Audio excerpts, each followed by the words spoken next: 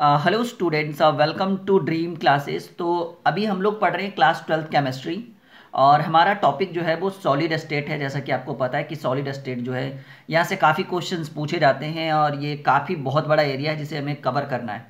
तो आज हम लोग पढ़ेंगे सॉलिड सॉलिड स्टेट में ये जो हमारा टॉपिक है कि क्रिस्टलों में सीमित पैकिंग ठीक है?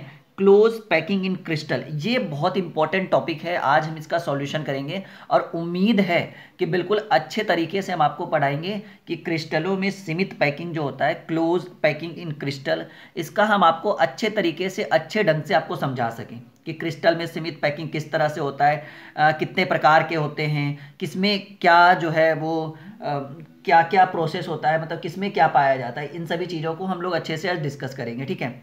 तो देखिए यहाँ पे हमने लिखा है कि क्रिस्टल में अवयवी कण ठीक है? क्रिस्टल में अवयवी कण अथा संभव कम से कम स्थानों में परस्पर सटे होते हैं। मतलब क्रिस्टल में जो अवयवी कण जो होते हैं ना वो आपस में एक दूसरे से बिल्कुल सटे होते हैं। परस्पर स्थानों में आ, कम से कम स्थानों में परस्पर सटे होते हैं जिससे क्रिस्टल के अंदर रिक्त स्थान न्यूनतम। सिंपल सी बात है, जब वो दोनों आपस में क्रिस्टल के कण जो होते हैं, वो आपस में अगर सटे रहेंगे तो रिक्त स्थान जो होते हैं, ठीक है, रिक्त स्थान जो होंगे, वो रिक्त स्थान न्यूनतम हो जाता है। और घनत्व, सिंपल सी बात है, जब दोनों के बीच का जो डेंस मतलब स्पेस जो है, वो कम हो जाएगा तो डेंसिटी जो होगा, वो क्या हो जाएगा, घनत्व अधिकतम हो जाता है।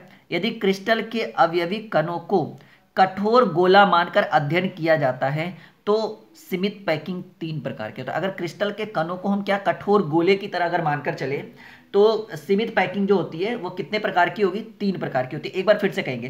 कहेंगे क्रिस्टल में अवयवी कण यथासंभव कम से कम स्थानों में परस्पर सटे होते हैं, जिससे क्रिस्टल के अंदर रिक्त स्थान जो होते हैं, वो न्यूनतम हो जाता है। जब वो सटा रहेगा तो ऑब्वियसली सिंपल सी बात है, रिक्त स्थान न्यूनतम हो जाता है। और घनत्व अधिक, अधिकतम हो जाता है। यदि क्रिस्टल के अवयवी कणों को अगर हम कठोर गोला मानकर अध्ययन करें तो सीमित पैकिंग जो होते हैं, वो तीन प्रकार के होते हैं। यहाँ पे कौन कौन से तीन प्रकार होंगे? पहला हमने कहा कि एक आयामी सीमित packing, one dimensional close packing, एक आयामी सीमित पैकिंग। क्रिस्टल में सीमित पैकिंग कितने प्रकार के होंगे जी? ये जो हम जो आपको पढ़ा रहे हैं ये कितने प्रकार के होंगे? तो कहेंगे सीमित पैकिंग जो तीन प्रकार के होंगे। एक हो जाएगा एक आयामी सीमित packing one dimensional close packing जब आपस में सटे सटे होंगे तो डेंसिटी क्या होगा? बढ़ जाएगा और स्पेस जो होगा वो कम जाएगा, ठीक है? तो इस तरह की समस्याएँ समस्याएँ नहीं कर सकते हम इस चीज़ को, ठीक है? तो ये कितने प्रकार के होंगे? एक होगा एक आयामी सीमित सीमित packing one dimensional close packing दूसरा जो होगा वो द्वि आयामी सीमित packing two dimensional close packing, और तीसरा जो होगा वो त्रि आयामी सीमित पैकिंग, ठीक है? त्रि आयामी सीमित packing three dimensional close packing. तो तीन प्रकार के जो होंगे, सीमित पैकिंग जो कितने प्रकार के होंगे? तीन प्रकार के होंगे। कब? जब इनको अध्ययन करते समय इनके कणों को अगर हम एक कठोर गोला मान ले तो ये तीन प्रकार के होंगे, ठीक है? अब एक एक कर करके तीनों के बारे में हम लोग अच्छे से कंप्लीटली पढ़ेंगे। चलिए तो बढ़े आगे? तो अब एक एक कर करके तीनों के बारे में पढ़ेंगे। एक, आयामी, सीमित पैकिंग। दुई आयामी, सीमित पैकिंग। त्रि आयामी, सीमित पैकिंग। इसके बारे में हम लोग डिटेल्स के साथ पढ़ेंगे, ठीक है, स्टूडेंट? तो पहला जो हमारा है, एक, आयामी, सीमित पैकिंग। या हम इसको कहेंगे एक बीमियन निबिड़ संकुचन। बहुत अच्छा सवाल है ये। और यहाँ से देखिए, बिल्कुल, हमने बताया कि आपको हम बेसिक से पढ़ाएँगे केमिस्ट्री ठीक है?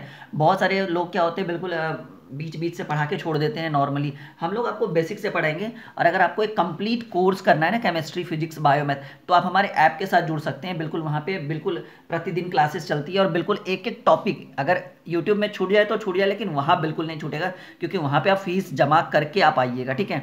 तो अगर घर पर बैठे हैं और बिल्कुल क्लासेस जाने में दिक्कतें, आपको सिंपल सी बात है, अभी तो आ ही रहा होगा तो आप वहाँ से क्लास ज्वाइन कर सकते हैं हमारे, ठीक है? तो यहाँ पर देखिए, एक आयामी सीमित पैकिंग या एक बीमे निबिड़ संकुचन, इसके बारे में हम करेंगे। कहेंगे वैसा निबिड़ वैसा निबिड़ संकुचन जिसमें कणों को पंक्ति कणों को पंक्ति में एक दूसरे से स्पर्श करते हुए फिगर के साथ हम करेंगे इसका सॉल्यूशन ठीक है?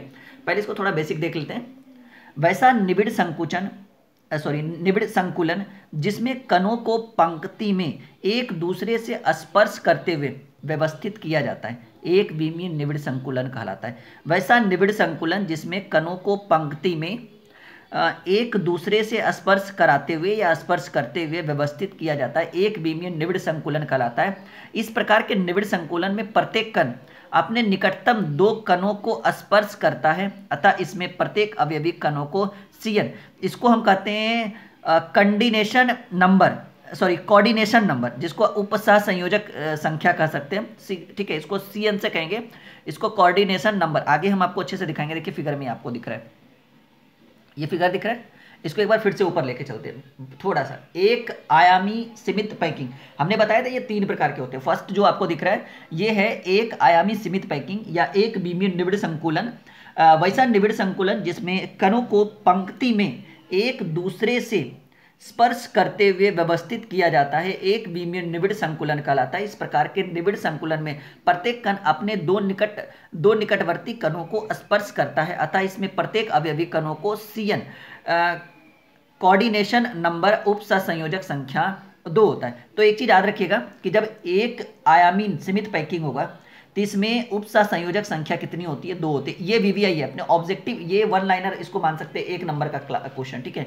कि जब एक आयामी सीमित पैकिंग होगा, एक बीमीय निबिड़ संकुलन होगा तो इसमें प्रत्येक अवयवी कण जो होता है वो उपसंयोजक संख्या कणों का सॉरी प्रत्येक अवयवी कणों का जो होता है, उपसंयोजक संख्या कितना होता है? ये दो होता है। और ये फिगर आपको दिख रहा है। देखिए, एक जो होता है वो मिनिमम कितने को स्पर्श करा रहा है? दो को स्पर्श करा रहा है। और यहाँ पर जो ये जो आपको दिख रहा है ना, यही आपका हो गया इसकी जो कोऑर्डिनेशन नंबर जो होगा, वो क्या होगा? दो होगा। ये उपसह संयोजक संख्या उपसह संयोजन संख्या कोऑर्डिनेशन नंबर ठीक है? तो ये क्लियर हो गया। एक आयामी सीमित पैकिंग हालाँकि इसके बारे में थोड़ा सा और डिस्कस करेंगे, हम लोग आगे बढ़ते हैं। देखिए एक आयामी हो गया अब हम लोग द्वि आयामी सीमित पैकिंग के बारे में थोड़ा सा पढ़ेंगे। फिर थ्री इसको हम कहेंगे two D square close packing ये दो प्रकार के होते हैं। एक two D hexagonal close packing तो दोनों के बारे में एक कर करके पढ़ेंगे। तो कहेंगे द्वि आयामी सीमित पैकिंग। इसके बारे में थोड़ा सा जान लेते हैं स्टूडेंट्स द्वि आयामी सीमित पैकिंग या द्विबीमीय निबिड़ संकुलन। टू डायमेंशनल क्लोज पैकिंग या टू डी क्लोज पैकिंग ठीक है? तो कहेंगे टू डी क्लोज पैकिंग जो होता है ना, ये दो प्रकार का होता है। ये ये एक बीमीय तो हो गया, इधर एक बीमीय तो हो गया। ये हो गया ना, एक आयामी सीमित पैकिंग या एक बीमिय निविड संकुलन। इसके बारे में हमने अच्छे से पढ़ लिया। इस फिगर को बना दीजिएगा। हालाँकि ये दो नंबर में पूछेगा नहीं, लेकिन हो सकता है कि आपको पूछ दे कभी कभार, ठीक है? इससे रिलेटेड ऑब्जेक्टिव भी पूछ सकता है। तो देखिए, यहाँ से एक ऑब्जेक्टिव क्या बना कि दुई दुई आयामी सीमित पैकिंग दुई बीमीय निविड संकुलन जो होता है, कितने प्रकार के होते हैं? तो कहेंगे टू डायमेंशनल क्लोज पैकिंग और टू डी क्लोज पैकिंग ठीक है? ये दो प्रकार के होते हैं। तो टू डी क्लोज पैकिंग दो प्रकार के होते हैं, ठीक है? दुई आयामी सीमित पैकिंग जो होते हैं, ये दो प्रकार के होते हैं, जहाँ की जैसा कि आपको स्क्रीन पे दिख रहा है। पहला two D square close packing और दूसरा है two D hexagonal close packing अब सवाल आता है, sir two D square close packing क्या है और two D hexagonal close packing क्या है? समझिए इस चीज़ को। धीरे धीरे, आराम आराम से पढ़ेंगे। समय जितना लगे, कोई बात नहीं, लेकिन पढ़ेंगे बिल्कुल कॉन्सेप्ट के साथ। तो पहले जो है, हम पढ़ेंगे इसके बारे में हाँ ये देखिए पूछ सकता है ये डायरेक्टली ठीक है? इससे ऑब्जेक्टिव बनता है। जैसे देखिए, एक एक बात मैं आपको रियलिटी बताऊँ आपके। बच्चे बोलते हैं, सर, हमने क्लास पूरा किया। ऑब्जेक्टिव नहीं लड़ा, सर। ऑब्जेक्टिव नहीं बना, सर हार्ड था। देखिए, वो हार्ड नहीं था। आपने सिलेबस पूरा नहीं पढ़ा। पढ़ा भी होगा क्लास नहीं गए होंगे, ठीक से अटेंड नहीं किया होगा। तो टॉपिक्स आपने ठीक से, जो है ना टॉपिक्स उसे आपने मेंटेनेंस नहीं किया। इस कारण से जो है क्वेश्चन जब ऑब्जेक्टिव वन लाइनर पूछ देता है डायरेक्ट प्रीवियस ईयर पूछ देता है वो आपने टिक लगा दिया। लेकिन जो क्वेश्चन जो ऑब्जेक्टिव क्वेश्चन के बीच से उठा कर देता है। जैसे आपने पढ़ा कि कोऑर्डिनेशन नंबर जो होता है आ, ये पढ़ा था ना आपने? ये एक आयामी सीमित पैकिंग या एक बी में निबिड़ संकुलन में कोऑर्डिनेशन नंबर जो होता है वो उपसह संयोजक संख्या दो होती है। तो ये चीज़ आपको नहीं पता है जब तक आप बे, बेसिक नहीं पढ़िएगा। तो चलिए हमने बताया कि द्वि आयामी या द्वि आयामी सीमित पैकिंग या द्विबीमीय निबिड़ संकुलन दो प्रकार के होते हैं। पहला two D square close packing, दूसरा two D two D hexagonal close packing. तो हम लोग पहले पढ़ते हैं two D square close packing. कहेंगे इस प्रकार के निबिड़ संकुलन में, इस प्रकार के निबिड़ संकुलन में कणों के द्वितीय पंक्ति को प्रथम पंक्ति के गोले से इस प्रकार संपर्क में रखा जाता है कि द्वितीय पंक्ति के गोले प्रथम पंक्ति के गोले के ठीक ऊपर हो। तथा क्षैतिज और ऊर्ध्वाधर दोनों रेखाओं में संरेखित हों। ठीक है? ये जो होगा, ये दोनों रेखाओं में संरेखित होगा। तो कह रहा है कि इस प्रकार के निबिड़ संकुलन में two D square close packing, द्विबीमीय वर्ग निबिड़ संकुलन, ठीक है?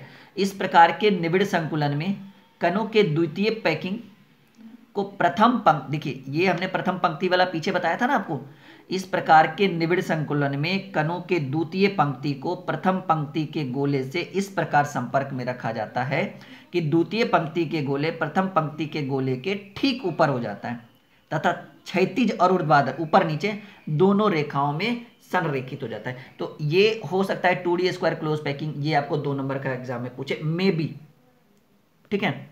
और देखिए अच्छा मैंने आपको क्या बताया था प्रथम संकुलन ये, जो आपने फ़र्स्ट पढ़ा था ना एक आयामी सीमित पैकिंग इसमें हमने बताया था कि इस प्रकार के निबिड़ संकुलन में प्रत्येक कण अपने निकटवर्ती दो कणों को स्पर्श करता है। हमने बताया था ही नहीं। पीछे इसलिए इसका सात संयोजन सॉरी कोऑर्डिनेशन नंबर जो है वो दो था। हमने पढ़ाया था पहले में कि इस प्रकार के निबिड़ संकुलन में प्रत्येक कण प्रत्येक कण दो निकटतम दो कणों को स्पर्श करता है और इसका कोऑर्डिनेशन नंबर सीएन जो है वो दो है। लेकिन इसमें देखिए इसमें two D square close packing में, इस प्रकार के निबिड़ संकुलन में प्रत्येक कण अपने निकटवर्ती या अपने निकटतम चार कणों को स्पर्श, ये वन लाइनर इंपॉर्टेंट क्वेश्चन है जी, ये बहुत इंपॉर्टेंट है। ये जो है, हम इसको वीवीआई कहेंगे, ठीक है स्टूडेंट ये हम क्या कहेंगे इसको? वीवीआई कहेंगे। वेरी वेरी इंपॉर्टेंट इस प्रकार के निबिड़ संकुलन में प्रत्येक कण अपने निकटवर्ती चार कणों को स्पर्श करता है, इसलिए इसका कोऑर्डिनेशन नंबर सी एन जो है, वो कितना होगा बाबू? चार होगा। नोट करिएगा, ये वन लाइनर क्वेश्चन है। ये वन लाइनर क्वेश्चन है कि इस प्रकार के निबिड़ संकुलन में प्रत्येक कण अपने निकटतम चार कणों को स्पर्श करते इसलिए इसका सी एन जो कोऑर्डिनेशन नंबर है, वो चार होगा। अब चलिए, यहाँ देखिए। वन लाइनर है, ये भी इंपॉर्टेंट है। वन लाइनर है, ये भी इंपॉर्टेंट है। कहा गया कि इस प्रकार की व्यवस्था में सभी पंक्ति ए प्रकार की होती है। एक प्रकार की होती है, इसलिए इसे A A A A A dot dot dot type close packing कहा जाता है। तो इसको हम कहेंगे कि टू स्क्वायर क्लोज पैकिंग में जो पंक्ति जो होती है वो किस प्रकार की होती है? ए प्रकार की होती है, इसलिए इसे A A A A A dot dot dot dot dot type close packing कहा जाता है। ठीक है? इसके बारे में दो लाइन और हमने लिखा है कि इस क्लोज पैकिंग में ठोस गोले के द्वारा बावन दशमलव चार प्रतिशत जगह को घेरता है। देखिए, प्रश्न पूछेगा। ठीक है? कि two D square close packing में two D square close packing में ठोस गोले के द्वारा कितने प्रतिशत जगहों को घेरा जा सकता है? तो बावन दशमलव चार प्रतिशत जगहों को हम क्या कर सकते हैं? घेर सकते हैं। अर्थात इसकी संकुलन क्षमता बावन दशमलव चार प्रतिशत होती है जबकि शेष सैतालीस दशमलव छः प्रतिशत भाग जो है वो रिक्त पाया जाता है। लेकिन हमने आ, इसमें पढ़ा था ये जो हमारा पहला टॉपिक था कि एक आयामी वन डायमेंशनल क्लोज पैकिंग में हमने पढ़ा था कि कण जो होते हैं, वो आपस में बिल्कुल सटे सटे होते हैं और दो स्पर्श गोले को या स्पर्श कहेंगे कि दो निकटवर्ती कणों को जो है वो स्पर्श करते हैं। यहाँ चार को करेगा और वहाँ काफ़ी एरिया बिल्कुल होता था खुला हुआ। यहाँ देखिए मात्र इसके संकुलन क्षमता जो है, ये कितने प्रतिशत एरिया को घेरता है? बावन दशमलव चार प्रतिशत एरिया को घेरता है। याद रखिएगा, ये पूछेगा। अब कहेंगे कि two D square close packing में रिक्त रिक्त जो है रिक्तियाँ जो है वो चतुष्फलकीय होता है। ये किस किस तरह का होता है जी? चतुष्फलकीय होगा। Two D square close packing में रिक्त चतुष्फलकीय होता है। जो बीच का जो एरिया होगा, वो चतुष्फलकीय होगा। ये देखिए, ये हमने फिगर भी आपको बना दिया। ये है आपका two D square close packing, है ना? ये चतुष्फलकीय है बीच में। ये आपका जो एरिया है चारों तरफ़ से घेर रखा है। और मैंने बताया था कि देखिए वन लाइनर में इसको इसको एक बार फिर से पीछे करते हैं। बार बार हम इस चीज़ को दिखा रहे हैं आपको। मैंने आपको बताया था कि ये जो है, वो निकटवर्ती दो दो कणों को स्पर्श करता है। ये निकटवर्ती दो कणों को स्पर्श करता है, इसलिए इसकी कोऑर्डिनेशन नंबर कोऑर्डिनेशन नंबर जो है, वो दो है। लेकिन यहाँ पे हमने बोला कि इसके जो है, वो चार निकटवर्ती कणों को स्पर्श करता है। वन टू थ्री फोर इस कारण से इसकी सीएन जो है कोऑर्डिनेशन नंबर जो है, वो चार है। ठीक है? और इसकी संकुलन क्षमता जो है वो बावन दशमलव चार प्रतिशत है, ठीक है? ये हमारा two D square close packing ठीक है? और ये A dot dot dot type close packing का लाएगा हमारा, ठीक है? कोऑर्डिनेशन नंबर चार सबसे इंपॉर्टेंट सवाल, ठीक है?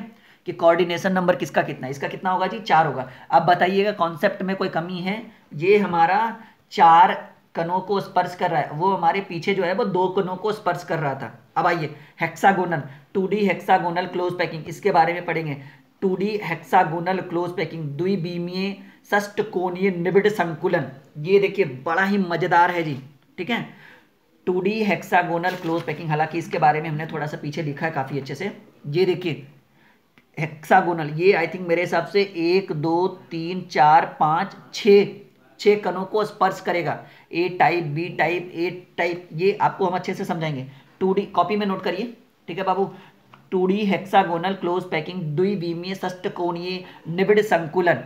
ये इस तरह का होता है। वो ए था, यहाँ A B A B A B और ये देखिए कोऑर्डिनेशन नंबर मैंने आपको बता भी दिया था। बाबू, कितना कोऑर्डिनेशन नंबर है?